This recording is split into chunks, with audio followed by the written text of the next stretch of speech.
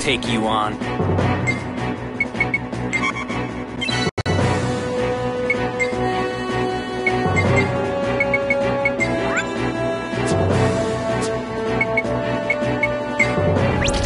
Let's go.